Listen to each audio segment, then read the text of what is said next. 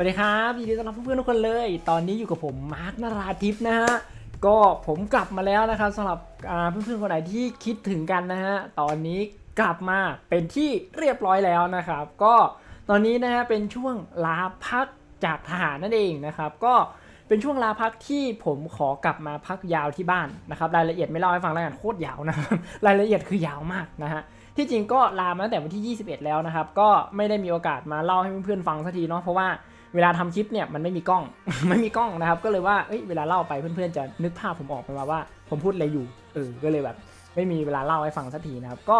วันนี้กลับถึงบ้านเป็นที่เรียบร้อยแล้วนะครับ ก็เลยเอาโอกาสนี้นะครับมาเล่าให้เพื่อนๆฟังเลยแล้วกันนะครับ ว่าผมเนี่ย กลับมาอยู่บ้านเป็นที่เรียบร้อยแล้วนะครับ ก็เดี๋ยวหลังจากนี้จะมาทำคลิปวิดีโอนะครับมาพูดคุยกับเพื่อนๆมา live stream แล้วก็มาทำคอร์สสอนให้เพื่อนๆเหมือนเดิมแล้วนะครับ ก็รอกันอีกไม่นานนะฮะหลังจากนี้เดี๋ยวจะมีระบบสอนเทรดออนไลน์มาให้สำหรับเพื่อนๆที่เทรดไม่เก่งต้องการคำแนะนำหรือต้องการห้องเรียนออนไลน์ที่อยู่ไหนก็เรียนได้นะครับที่สามารถช่วยให้เพื่อนๆสามารถทำกำไรจาก Olymp Trade นี้ได้ โดยที่ผ่านอินเทอร์เน็ตแบบ 100%นะครับเร็วๆนี้นะฮะไม่เกินประมาณ ไม่ไม่เกินประมาณกลางเดือนหน้าแน่นอนนะครับเดี๋ยวระบบทั้งหมดจะเสร็จนะครับคลิปวิดีโอจะถูกถ่ายทำเสร็จทั้งหมดไม่เกินกลางเดือนหน้านะฮะก็คิดว่าระบบนี้น่าจะพอน่าจะพอช่วยเหลือเพื่อนๆได้นะครับผมมองเห็นถึง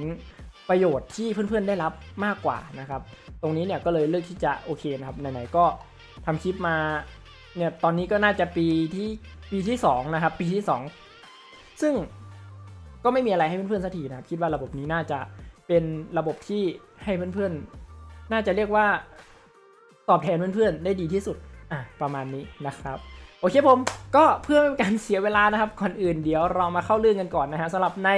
คลิปนี้นะครับผมจะมาเทรดต่อเนื่องจากในคลิปที่แล้วนั่นเองนะครับซึ่งสำหรับในคลิปนี้นะครับก็เป็นคลิปที่ 2 ของในสัปดาห์นี้นะครับเพราะว่าที่จริงมันควรจะเป็นคลิปที่3นะแต่ว่าเมื่อวานไม่ได้ลงคลิปนะฮะเพราะว่าเมื่อวานเพิ่งเดินทางกลับนะครับก็เพิ่งกลับมาถึงบ้านเลยนะฮะก็เลยเพิ่งมาได้ทำคลิปนี้เป็นคลิปที่ 2 นะครับก็สำหรับในคลิปที่ 2 นี้นะครับก็จะมาทำกำไรต่อจากคลิปที่แล้วนะฮะซึ่ง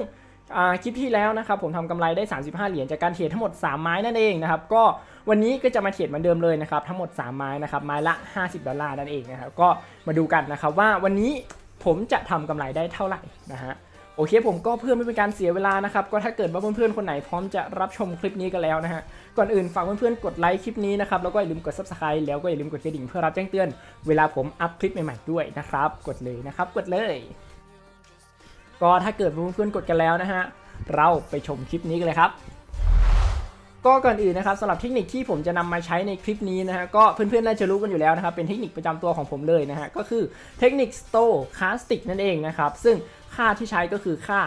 533 นะครับ เป็นเทคนิค stochastic ค่า 533 นั่นเองนะครับ ก็สำหรับเพื่อนๆ คนไหนที่เพิ่งมาดูคลิปนี้เป็นคลิปแรก หรือว่ายังไม่รู้เลยว่าเออเทคนิค stochastic ค่า 533 ที่ผมพูดพูดถึงเนี่ย มันคือเทคนิคอะไรนะครับ ก็เดี๋ยวผมจะอธิบายให้เพื่อนๆ ฟังก่อนแล้วกันนะครับ เดี๋ยวจะมาสอนเพื่อนก่อนเลยแล้วกันนะครับว่าเทคนิค stochastic ค่า 533 ที่ผมจะนำมาใช้ในคลิปนี้นะฮะ เป็นเทคนิคอะไร ตั้งค่ายังไง และใช้เทรดยังไงนะฮะ โอเคผมก็ก่อนอื่นเลยนะครับ ถ้าเกิดว่าเพื่อนๆเข้ามาที่หน้าแพลตฟอร์มของ o r i m t r a d e แล้วนะครับ ก็ก่อนอื่นให้เพื่อนๆทำการตั้งค่ากราฟก่อนนะครับ ก็ถ้าเพื่อนๆคนไหนนะครับที่เข้ามาครั้งแรกแล้วกราฟเป็นหน้าตาของแผนภูมิสีฟ้าๆแบบนี้นะฮะ ก่อนอื่นเนี่ยให้เพื่อนๆทำการแก้ไขนะครับจากกราฟสีฟ้าเนี่ยให้กลายเป็นแท่งเทียนญี่ปุ่นก่อน โดยการกดไปที่เมนูรูปกราฟนะครับที่มุมซ้ายล่างตรงนี้นะฮะเมนูที่ 1 นี่เลยนะครับ เสร็จแล้วก็ให้เพื่อนๆเลือกที่แท่งเทียนญี่ปุ่น นะคะอ่านี่เลยนะครับ แล้วเพื่อนๆก็จะได้กราฟที่มีลักษณะเป็นแท่งเทียนญี่ปุ่นโผล่มาแบบนี้แล้วนั่นเองนะครับ ซึ่งการที่เราเอากราฟมาแบบนี้นะครับที่เป็นลักษณะของแท่งเทียนญี่ปุ่นเนี่ยมันจะช่วยให้เราเวลาเทรดด้วยเทคนิค stochastic ค่า 533 นี้นะครับช่วยให้เราเทรดได้ง่ายขึ้นนั่นเองนะฮะเพราะว่าจุดสังเกตอะไรต่างๆเนี่ยมันสามารถสังเกตจากกราฟแท่งเทียนญี่ปุ่นเนี่ยได้ดีที่สุด นะครับ อะ ประมาณนี้นะฮะ ต่อไปนะครับ เมื่อเราทำการตั้งค่าในส่วนของกราฟเรียบร้อยแล้วนะครับ ก็คือการ setting ในส่วนของเทคนิค stochastic นะครับ ซึ่งวิธีการ setting เทคนิค stochastic นี้นะครับ ก็ก่อนอื่นให้เราไปที่เมนู indicator นะครับ หรือว่าเมนูที่ 2 นะครับ ที่เป็นรูปเครื่องมือหรืออุปกรณ์เลขาคณิตตรงนี้นั่นเองนะครับ กดเข้าไปเลยนะฮะ เมื่อเพื่อนกดเข้ามาแล้วก็ให้เพื่อนๆทำการสไลด์ลงไปนะครับ แล้วเพื่อนๆจะเจอกับนี่เลยนะครับ indicator ที่ชื่อว่า stochastic นั่นเองนะฮะ ก็กดเข้าไปเลยนะครับ เมื่อเพื่อนๆกดเข้ามาแล้วนะครับก็จะได้กราฟเพิ่มมาอีก 1 กราฟอยู่ด้านล่างตรงนี้นะฮะซึ่งกราฟตรงนี้นะครับก็คือกราฟของเทคนิค stochastic นะครับเทคนิคที่เราจะใช้เทรดในคลิปนี้กันนั่นเองนะครับซึ่งเมื่อเราได้กราฟมาแล้วนะครับก็ก่อนอื่นให้เราทำการตั้งค่าก่อนเลยนะครับก็วิธีการตั้งค่าให้กดไปที่รูปดินสอมุมขวาบนนะครับแล้วก็ทำการเปลี่ยนนะฮะ ปกติเนี่ยค่ามาตรฐานของเทคนิคสโตคาสติกนี้ครับจะเป็น 1433 นะฮะ อย่างที่เพื่อนๆเห็นตรงนี้เลยนะครับ แต่ว่าเราจะไม่ได้ใช้ 1433 นะครับ เราจะใช้ 533 นั่นเองนะครับ เพราะฉะนั้นเนี่ยเลข 14 ด้านบนนะครับ เราจะเปลี่ยนเป็นเลข 5 นะฮะอะแบบนี้เลยนะครับ เสร็จแล้วก็ทำการปิดไป เท่านี้นะครับ เราก็จะได้เทคนิค Stochastic ที่มีค่าเท่ากับ 533 แบบที่ผมใช้ในคลิปนี้เรียบร้อยแล้วนั่นเองนะครับ ก็ต่อไปนะครับหลังจากที่เราเซตติ้งเรียบร้อยแล้วนะฮะก็คือวิธีการเทรดนะครับสำหรับวิธีการเทรดด้วยเทคนิค Stochastic ค่า 533 นี้นะครับก็วิธีการเทรดง่ายมากๆเลยนะครับ ถ้าเพื่อนๆสังเกตที่เทคนิค Stochastic นะครับเพื่อนๆจะเห็นว่ามีเส้นอยู่ด้วยกัน 2 เส้นนะครับ1ก็คือเส้นสีฟ้านะครับ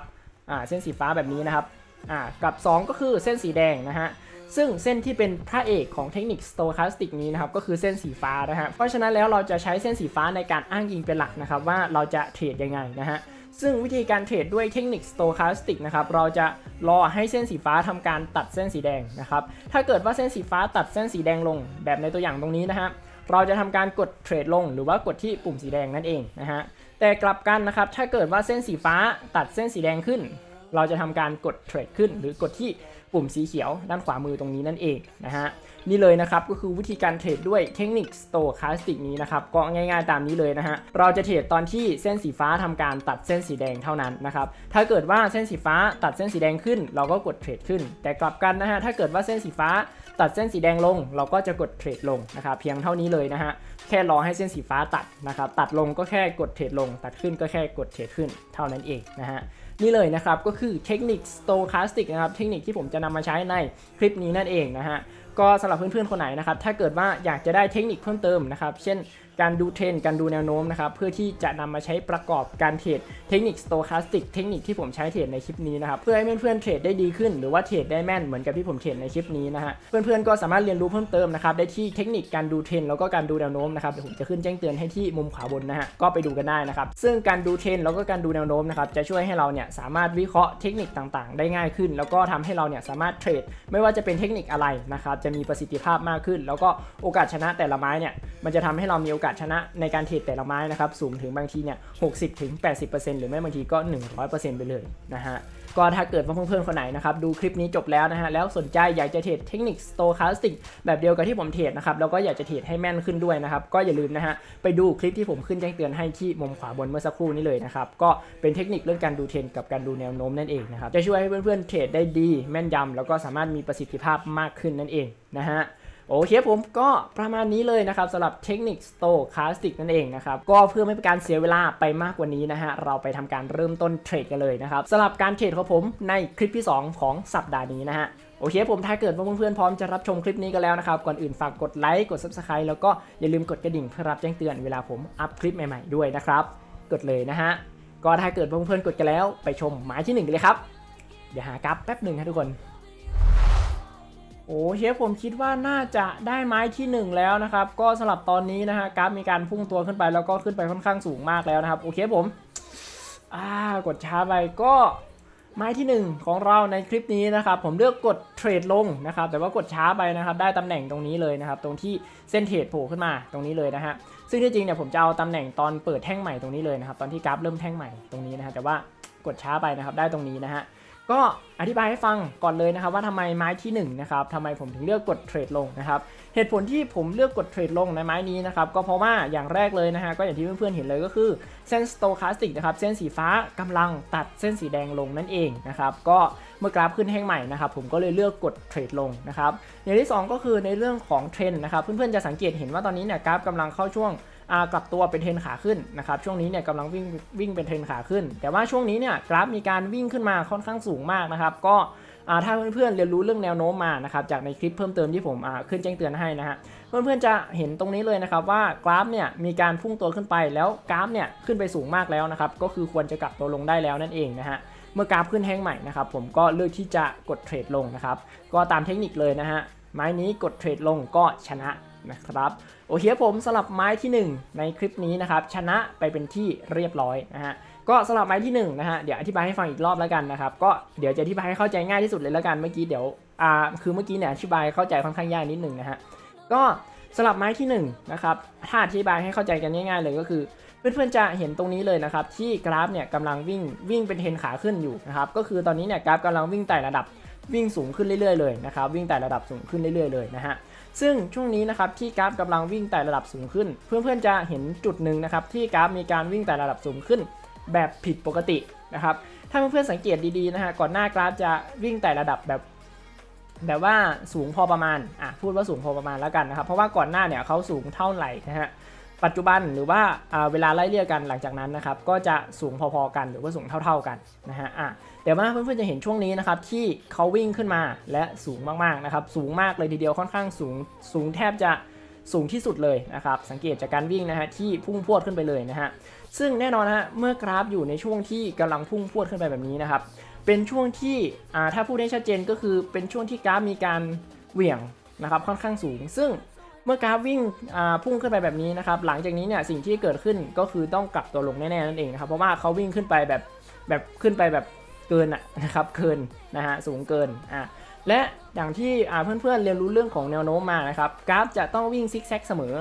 แน่นอนครับตรงนี้เนี่ยกราฟวิ่งขึ้นไปสูงเกินไปแล้วนะครับสิ่งที่ต้องเกิดขึ้นก็คือต้องกลับตัวลงแน่ๆ และบวกกับแนวโน้มหรือว่าการวิ่งซิกแซกนะครับถ้าเพื่อนๆสังเกตดีๆเนี่ยตรงนี้คือช่วงที่กราฟกำลังจะกลับตัวลงแล้วนะครับสังเกตจากอะไรสังเกตจากการวิ่งซิกแซกนะฮะที่ถ้าเพื่อนๆสังเกตดีๆนะครับก่อนหน้าเนี่ยเขาได้ทำการวิ่งลงมาแล้ว 1 ครั้งนะครับแล้วก็ทำการวิ่งขึ้นใหม่ หลังจากนั้นก็ทำการวิ่งลงนะครับพอลงปุ๊บหลังจากนี้ก็วิ่งขึ้นรัวๆเลยนะครับซึ่งแน่นอนฮะขึ้นรัวๆแล้วกราฟจะต้องวิ่งซิกแซกเสมอนะครับหรือว่าวิ่งขึ้นลงเสมอ เพราะนั้นตรงนี้เนี่ยขึ้นรัวๆแล้วแสดงว่าอีกสักพัก หรือว่าณช่วงนี้ก็คือจะต้องกลับตัวลงได้แล้วนั่นเองนะครับ มีขึ้นก็ต้องมีลงนะฮะอ่าก็อย่างที่เพื่อนๆเห็นนี่เลยนะครับกราฟกำลังเข้าช่วงกลับตัวลงแล้วพอดีเลยนะฮะแล้วบวกกับเส้นสโตคาสติกที่กำลังตัดลงด้วยนะครับไม้นี้เนี่ยผมเลยค่อนข้างมั่นใจนะครับว่าณช่วงนี้เนี่ยที่กราฟวิ่งขึ้นมาเนี่ยตรงนี้คือจุดที่เรียกได้ว่าสูงที่สุดแล้วนะครับควรจะเป็นจุดที่เขากลับตัวลงแล้วด้วยนะครับ จึงเลือกกดเทรดลงนะครับสำหรับในไม้ที่ 1 ของเราในคลิปนี้นะฮะ อะก็ประมาณนี้เลยนะครับไม้ที่ 1 ยาวนิดนึงนะครับ เพราะว่าอาศัยหลายปัจจัยด้วยนะครับ ก็แต่ถ้าเล่าให้ฟังนะครับ ก็หลักๆก็คือมี 3 ปัจจัยประมาณนี้นะครับ แต่ที่จริงก็คือมีอีกหลายปัจจัยเลยนะครับ แต่ว่าถ้าเป็นไปได้จะมาทำคลิปแยกให้นะครับ แต่ว่าหลักๆนะครับ ปัจจัยหลักๆ ที่ผมใช้ตัดสินใจในการเทรดก็คือมี 3 ปัจจัยตามนี้เลยนะฮะโอเคผมก็เดี๋ยวเราไปต่อกันที่ไม้ที่ 2 กันเลยนะครับ ไม้นี้เดี๋ยวถ้าอธิบายต่อผมคิดว่าน่าจะยาวแน่ๆนะครับที่จะไม่ได้เทรดไม้ที่ 2 กัน โอเคผมก็ไม้ที่1นะครับชนะสำเร็จไปได้ด้วยดีนะครับก็เดี๋ยวเราไปต่อกันที่ไม้ที่ 2 กันเลยนะฮะมาดูกันฮะผลลัพธ์จะออกมาเป็นยังไง ไปกันเลยครับโอเคผมคิดว่าตอนนี้น่าจะได้ไม้ที่ 2 แล้วนะฮะก็สำหรับตอนนี้นะครับเป็นช่วงที่กราฟกำลังจะกลับตัวขึ้นนั่นเองนะครับสังเกตจากอะไรนะฮะสังเกตจากฐานของกราฟนะครับหรือว่าจุดต่ำสุดนะฮะ ที่ณปัจจุบันนะครับจุดต่ำสุดเนี่ยยกสูงขึ้นเรื่อยๆเลยนะครับก็จุดที่ 1 อยู่นี่นะครับจุดที่2เนี่ยยกสูงขึ้นมาจากจุดที่ 1 พอสมควรเลยนะครับแล้วก็จุดสูงสุดก็ยกสูงขึ้นมาจากจุดที่1เนี่ยก็พอสมควรเลยนะฮะแล้วก็ณช่วงนี้นะครับกราฟเนี่ยเป็นกำลังอยู่ในช่วงแนวโน้มที่กำลังจะโน้มตัวขึ้นด้วยนะครับสังเกตจากอะไรนะฮะสังเกตจากการซิกแซกของกราฟนั่นเองนะครับก็นี่เลยนะครับเพื่อนๆจะสังเกตเห็นนะฮะว่าก่อนหน้านี้เนี่ยเขาได้ทำการซิกแซกลงนะครับหลังจากนั้นก็ทำการวิ่งซิกแซกขึ้นนะฮะ หลังจากนั้นก็ณช่วงนี้นะครับก็ได้ทำการซิกแซกลงนะครับซึ่งผมคิดว่าน่าจะลงมาได้เท่านี้นะครับโอเคผมกราฟขึ้นแท่งใหม่เลือกกดเทรดขึ้นก่อนเลยแล้วกันนะฮะเดี๋ยวกดไม่ทันนะฮะ แล้วก็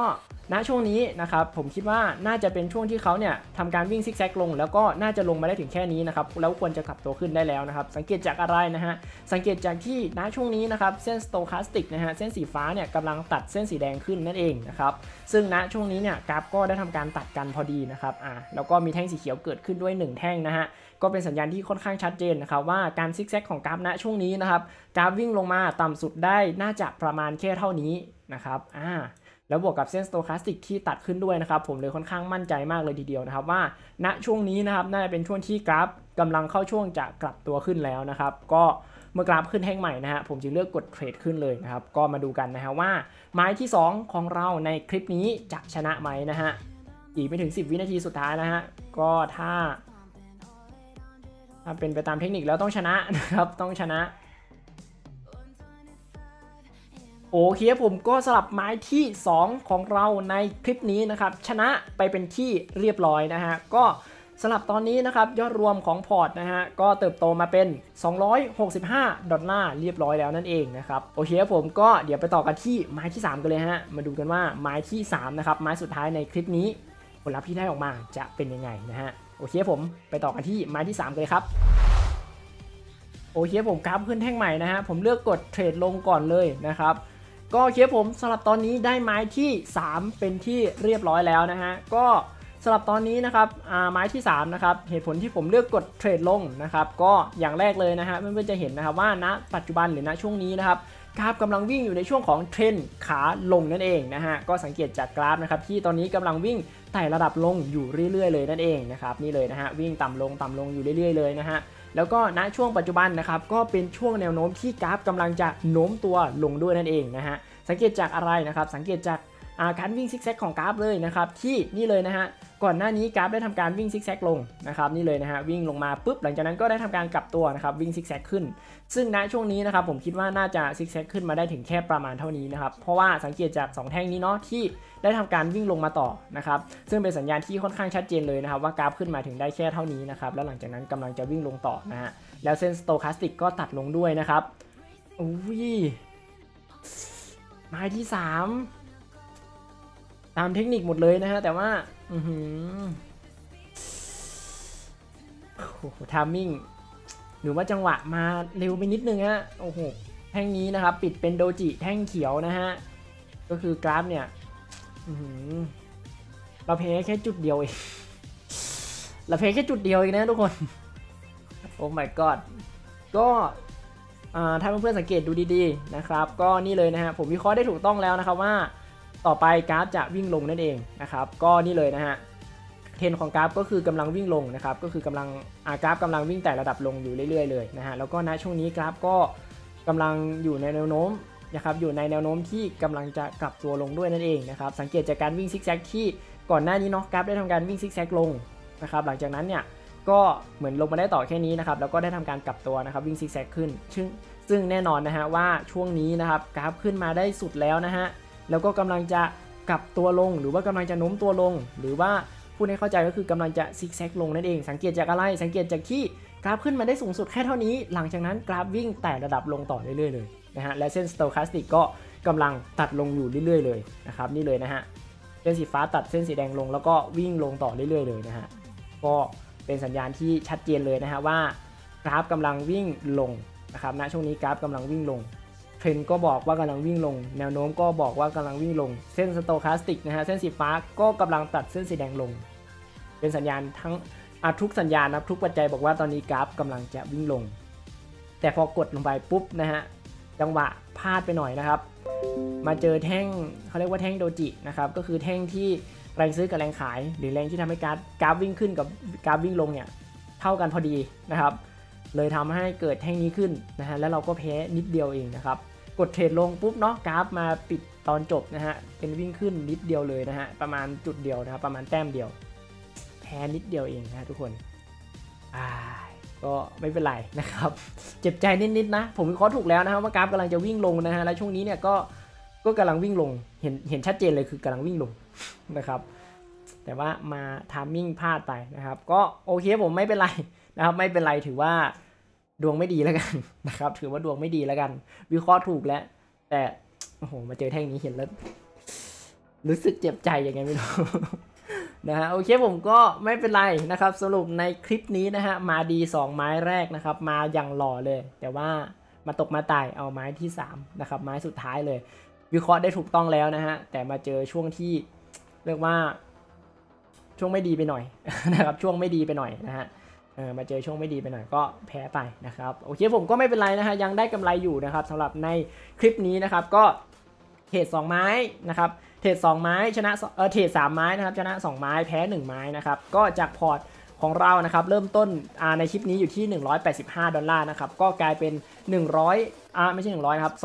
215 ดอลลาร์แล้ว หรือก็คือได้กำไรมาที่ 30 เหรียญหรือว่า 30 ดอลลาร์นั่นเองในคลิปนี้นะฮะก็สำหรับคลิปนี้นะครับใช้เวลาอัดมาทั้งสิ้น 47 นาที ตีเป็น 50 นาทีแล้วกันนะครับเออตีเป็น 50 นาทีแล้วกันนะฮะก็สำหรับคลิปนี้นะครับใช้เวลาเทรดไปทั้งหมด 50 นาทีนะครับกับทั้งหมด 3 ไม้นะฮะก็ทำกำไรมาได้อยู่ที่ 30 ดอลลาร์นะครับก็ถือว่ายังได้กำไรนะครับแต่ mission ไม่สำเร็จนะ mission ไม่สำเร็จแต่ว่าไม่ได้ชนะ 3 ไม้ติดเนาะแต่ก็ยังได้กำไรอยู่นะฮะก็ถือว่ายังโอเค ถือว่าโอเคนะฮะสำหรับในคลิปนี้นะครับ